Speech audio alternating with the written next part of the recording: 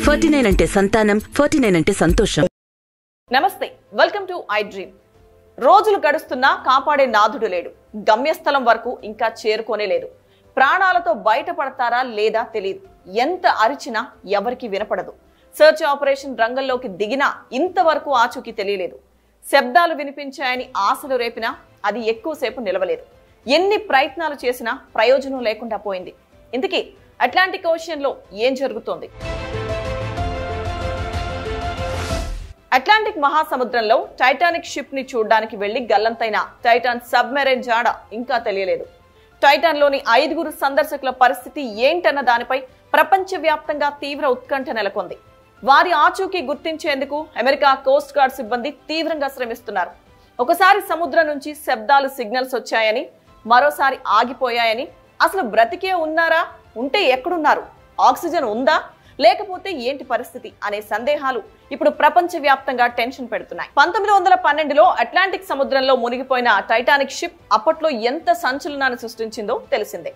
అయితే టైటానిక్ శిథిలాలను సందర్శించడానికి private submarine టైటాన్ను తీసుకుని బయలుదేరారు.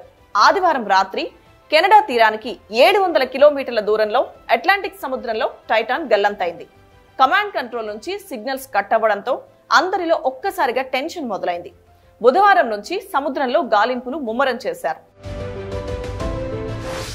సముద్ర అంతర్భాగం నుంచి శబ్దాలు వినిపిస్తున్నట్లు తెలియడంతో కెనడాకి చెందిన పి ఎయిట్ సైనిక నిఘా విమానం గాలింపు చర్యలు చేపట్టింది. టైటాన్ గల్లంతైనట్లు భావిస్తున్న ప్రాంతం నుంచి ప్రతి ముప్పై నిమిషాలకు ఒకసారి బిగ్గర్గా శబ్దాలు వెలువడుతున్నట్లు సమాచారం.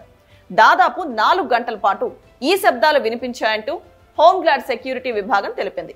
అయితే ఈ శబ్దాలు టైటాన్కు సంబంధించినవేనా అనే దానిపైన ఇంకా స్పష్టత రాలేదు.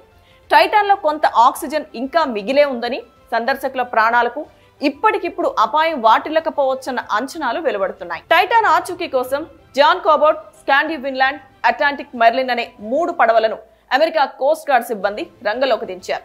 టైటాన్ జలాంతర్గామి ప్రస్తుతం సముద్ర ఉపరితల నుంచి పన్నెండు వేల ఐదు వందల అడుగుల లోతున ఉన్నట్లు అంచనా వేస్తున్నారు. ఇది సామాన్యమైన లోతు కాదు.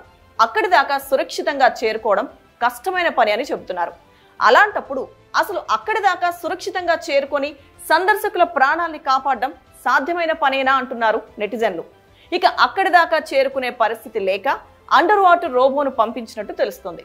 సహాయక చర్యల కోసం అమెరికా సైన్యానికి చెందిన మూడు సి సెవెంటీన్ రవాణా విమానాలను పంపించినట్లు యుఎస్ ఎయిర్ మొబిలిటీ కమాండ్ అధికార ప్రతినిధి చెప్పారు. సముద్రం అంతర్భాగంలోకి వెళ్ళి ఆ మినీ సబ్మెరైన్ కనుగొనడం సాధ్యమైన పనేనా?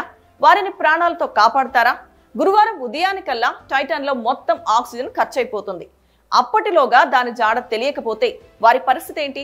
అంటే అందులోని సందర్శకులు ప్రాణాలపై ఆశలు వదులుకోవాల్సిందేనని నిపుణులు పేర్కొంటున్నారు. అవును ఆక్సిజన్ పూర్తయ్యేలోపు వారిని వెలికి తీయకపోతే ఇక ఆశలు వదులుకోవాల్సిందే అంటున్నారు. మరోవైపు టైటాన్ గల్లంతు కావడం ప్రపంచవ్యాప్తంగా చర్చనీయాంశంగా మారింది.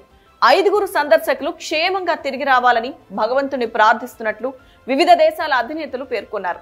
సందర్శకుల క్షేమాన్ని కోరుతూ నెటిజన్లు సోషల్ మీడియాలో పోస్టులు పెడుతున్నారు. టైటాన్లో ఓషన్ గేట్ కార్పొరేషన్ వ్యవస్థాపకుడు స్టాక్టన్ రష్ బ్రిటిష్ వ్యాపారవేత్త హమిద్ హార్డింగ్ పాకిస్తాన్కు చెందిన తండ్రి కొడుకులు షాజాదా సులేమాన్ దావూద్ ఫ్రెంచ్ నావికాదళం మాజీ అధికారి పాల్ హెన్రీ నార్జియోలెట్ ఉన్నారు